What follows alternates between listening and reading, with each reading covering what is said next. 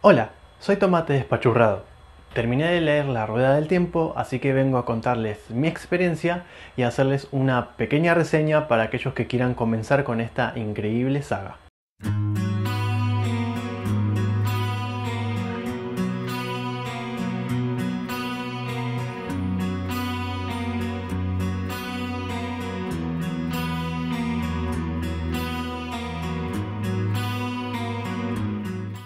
Robert Jordan es el nombre del autor que escribió esta gran serie, La Rueda del Tiempo.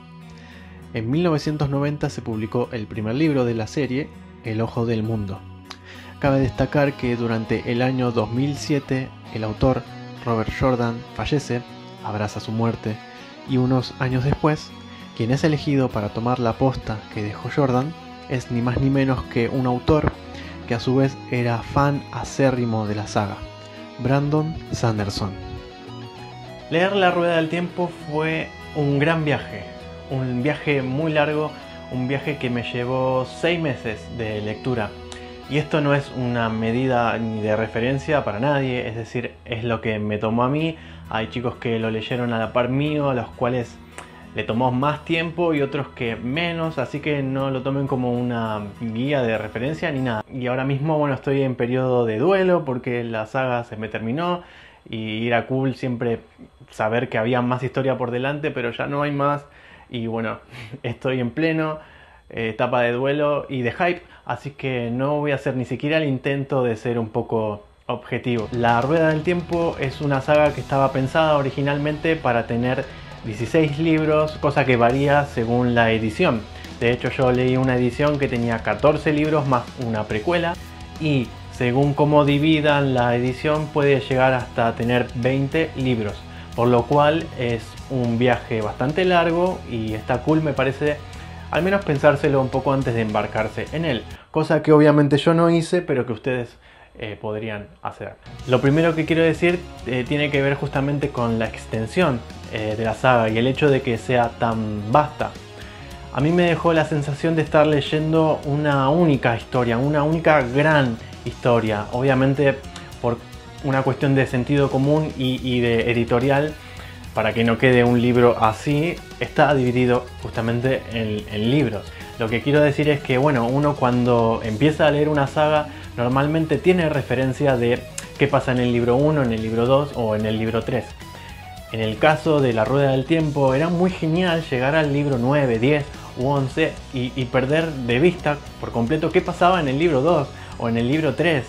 Digo, uno tenía mayormente referenciado las cosas que pasaban, pero bueno, eran en el principio o en el medio o en la parte en la que estaba. Y no es algo que me haya pasado con, con otras sagas y me parece que está bastante genial. En cuanto al ritmo de lectura, la verdad es que tiene un ritmo muy rápido, muy bueno, las cosas van pasando bastante rápido y, ligero. Y se, se, dan durante toda la saga una especie de contrapunto que me encantaba. Porque el autor venía con un ritmo bastante regular, de repente la acción se ralentizaba, es decir, quedaba muy centrada en algún personaje, en alguna trama o en algún lugar y de repente, ¡pum! Pasaban un montón de cosas que disparaban una especie de montaña rusa y esto pasaba en principio del libro, en mitad del libro o a final del libro, lo cual hacía que bueno, uno tenga que estar atento y, no podés eh, soltar el libro.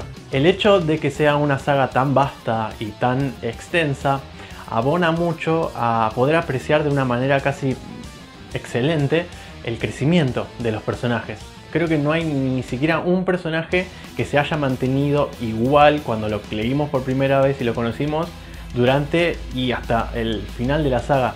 Siempre están cambiando y, por eso digo que es un viaje, porque vas de viaje junto con los personajes y ves cómo crecen, cómo cambian, cómo se deconstruyen, cómo se enfrentan a, a, lo que son, a lo que pueden ser, a lo que tienen que ser, a sus obligaciones de las que a veces quieren escapar. Y esto me recuerda un poco a, la saga Canción de Hielo y Fuego, porque en un momento George Martin dice, bueno, él tenía planeado hacer un salto de tiempo de 5 años para ayudar a agilizar las tramas y resolver cosas que tenía un poco complicadas y, editar más rápido o publicar sus libros. Pero no lo hizo justamente porque eso iba en detrimento de justamente el crecimiento de sus personajes principales o los personajes que guiaban sus tramas principales. En el caso de la rueda tampoco hay saltos del tiempo, entonces como digo, este crecimiento de personaje se ve de una manera excelente y la verdad es que la rueda del tiempo diría es una historia de crecimiento, de cambio y de deconstrucción. Cuando empecé a leer la saga, lo primero que me llamó la atención, bueno, no fue la magia, no fueron los seres que me encontré en este lugar, ni el mundo, sino que fue la fuerza que tienen las mujeres en esta saga. Sabemos que nuestro mundo es un mundo patriarcal, en el cual la mujer está todo el tiempo, hasta el día de hoy, luchando para tener una igualdad con el hombre. En el caso de la rueda del tiempo, el mundo que nos cuenta está de cabeza este tema la mujer no solo que tiene una igualdad con el hombre, sino que está por encima de él. Y esto se ve en que las mujeres están en todos los ámbitos de poder, mueven los hilos de los acontecimientos, de las historias. De hecho, son las mujeres las que al comienzo de la historia solamente tienen la magia. Y esto se va replicando desde lo más alto, de lo más encumbrado, como puede ser un reino o un imperio, hasta la aldea más pequeña en la cual si bien hay un alcalde, por decir un ejemplo, todas sus decisiones tienen que pasar por el tamiz de un círculo de, mujeres. Y esto, lejos de ser antinatural o artificial, es casi cultural, digo, está muy instalado y, no son lugares que hayan tenido que pelear. No, no, el hombre directamente eh, o les cede o les reconoce el lugar como algo completamente natural, como si hubiera sido así siempre. Y esto es chocante en el sentido de que es muy distinto al, mundo em, en el cual vivimos nosotros. Dicho sea de paso, tenemos muchos puntos de vista eh, de mujeres y en esto coincidían muchos de los chicos con los que hablé e intercambiamos impresiones. Las mujeres de Robert Jordan están muy muy bien logradas. Uno lee, al menos en mi opinión o en mi caso, estaba leyendo el punto de vista de algún personaje y literalmente sentía que estaba en la mente de, esa mujer. Así que diría, junto con la opinión de otros chicos, que tiene unos personajes femeninos muy, muy bien logrados. Está muy bien definida la personalidad de, cada uno, no hay eh, repeticiones y tal. Y la verdad es que mayormente son mujeres muy fuertes o que quizás no empiezan siendo, siendo fuertes, pero encuentran su fortaleza durante el recorrido de la saga. En la Rueda del Tiempo tenemos también muchas culturas, eh, algunas están más cerca y tienen más intercambio que, otras, de, de, la misma manera sucede con, la religión, son dos temas que están muy bien trabajados en, mi opinión y que a la vez no son el tema principal de la historia, son un factor muy importante que luego, eh, a medida que avanzan los libros, bueno, van encajando las piezas y todo tiene que ver y todo encaja con, con los hechos, no hay nada que quede librado al azar, no hay cabos sueltos y justamente el tema de la religión y las civilizaciones abonan muchísimo a, cómo se van dando los hechos, pero sin ser eh, una trama principal. Algo en lo cual yo anteriormente pasaba de largo cuando leí alguna saga era la parte de las batallas, la estrategia militar, es como que pasaba de ello y no me llamaba la atención.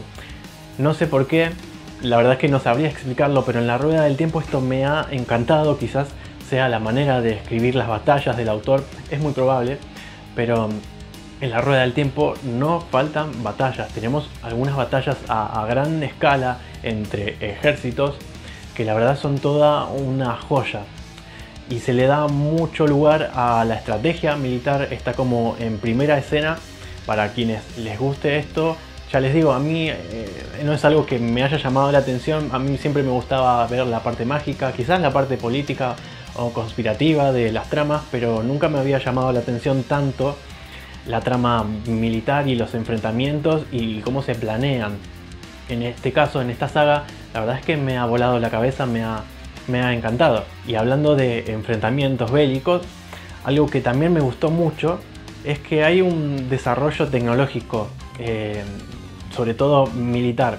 Cuando la saga empieza, eh, la tecnología y tal está en un lugar eh, parecido al de la Edad Media, al Medioevo, pero va increyendo.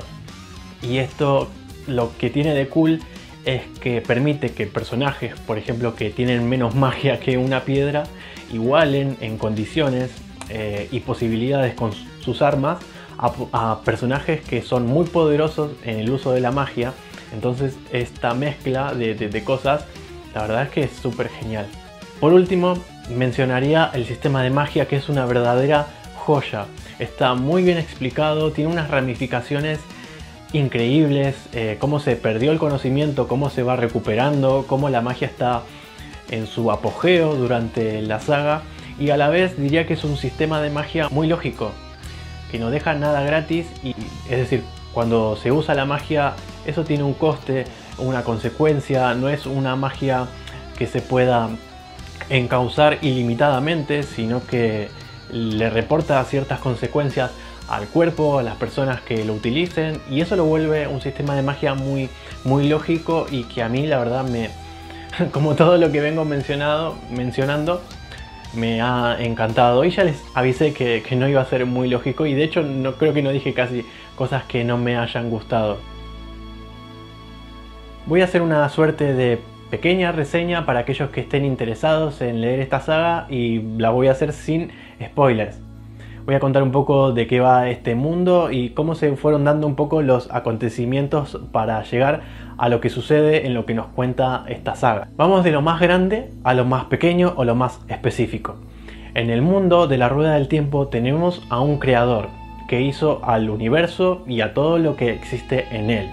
A su vez creó a la rueda del tiempo, que con su eterno girar va tejiendo lo que se llama o se conoce como el entramado o la urdimbre de las eras.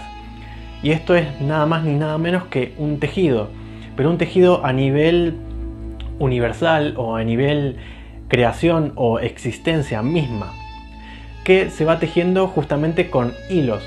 Y estos hilos son las personas, son los seres que habitan este mundo. El combustible para que la rueda del tiempo gire y gire durante las eras es el poder único, es la magia principal de este mundo, que a su vez viene de la fuente verdadera.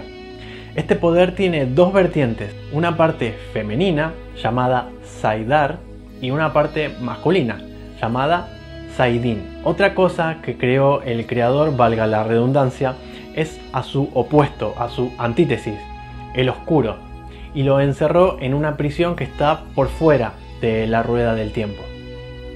En una era anterior a los hechos que nos narra la saga principal de la rueda del tiempo, un grupo de personas, encausadores del poder, hombres y mujeres, lograron hacer una perforación en esta prisión del oscuro, el cual no se escapó, pero que sí tuvo la capacidad de tocar el mundo, lo cual desató una gran guerra y acá es cuando entra en escena el dragón renacido, que es una persona que encausa gran poder, o sea, mucho más poder que todos los demás, que todas las demás personas que encausan. Y es un, ser, una especie de heraldo para la humanidad que envía el creador a través de el entramado o de la rueda del tiempo para enfrentarse una y otra vez contra el oscuro. Y esto es lo genial de este mundo o de la premisa que nos plantea que no es una batalla que se libre de una vez y para siempre. No, es un ciclo que se repite. Es decir, el oscuro está intentando liberarse, entonces tiene que surgir un dragón renacido para que luche contra él y evite que se libere y por tanto que termine con el mundo. Estos justamente son los hechos de la era anterior a la que nos relatan los hechos de la rueda del tiempo. El dragón renacido surgió para luchar contra el oscuro y logró sellarlo, pero antes de sellarlo, el oscuro lo que hizo fue tocar la parte masculina del poder e infectarlo. Entonces, los hombres que encausan el poder, su parte masculina, el Saidin, al encauzar se vuelven locos. Y en esa locura, todos los hombres lo que hicieron fue desmembrar el mundo. Y fue desmembrarlo literalmente, o sea, movieron todos los continentes. Donde antes había ciudades, ahora hay océanos donde había desiertos, ahora quedaron solamente ruinas y viceversa. El mundo cambió por completo. Y con eso se perdió todo el avance tecnológico y mágico que se había hecho, se perdió mucho conocimiento sobre la magia y de ahí en adelante que los hombres encausadores se reducieron a casi nada y son perseguidos por las mujeres que encausan ya que son un peligro para sí mismos y para el mundo. Así que al momento en que comienza la historia, las únicas que encausan la magia son las mujeres. La era en la que transcurren los acontecimientos de la rueda del tiempo es una era que se llama la tercera era, la era 3, una era que ya pasó, una era que volverá a suceder porque no hay principios ni finales en el eterno girar de la rueda del tiempo. Y es genial decirlo, siempre lo leía y era como piel de gallina. En la era 3 nos encontramos con un oscuro que está rebuyendo en su prisión, que está tratando de escaparse, que de hecho logró debilitar los sellos que lo tienen atrapado y el mundo que está a la espera de que llegue su dragón renacido. Las fuerzas de la luz lo quieren encontrar para guiarlo, algunos para utilizarlo y las sombras lo quieren encontrar justamente para acabar con él. Y es así como damos con la historia de tres muchachos, Perrin, Matt y Rand, que habitan en un lugar llamado Dos Ríos, que más bien está alejado de todo el epicentro de las cosas, pero que esto al fin de cuentas se termina dando vuelta y Dos Ríos junto con estos personajes terminan en el meollo de toda la historia. No hay principios ni finales en la rueda del tiempo, pero la historia tiene un principio y tiene un final, al igual que este video. Si les gustó el video les pido que me lo hagan saber en sus comentarios, tanto acá en YouTube, en mi canal o en mis otras redes. Si alguno va a comenzar a leer la saga, me encantaría que bueno, lo vaya comentando conmigo. No creo que este sea el único video que vaya a ser de la rueda del tiempo, solamente es el primero. Y aquellos que ya la han leído, me encantaría intercambiar impresiones con todos ustedes. Que encuentren agua y sombra en este día.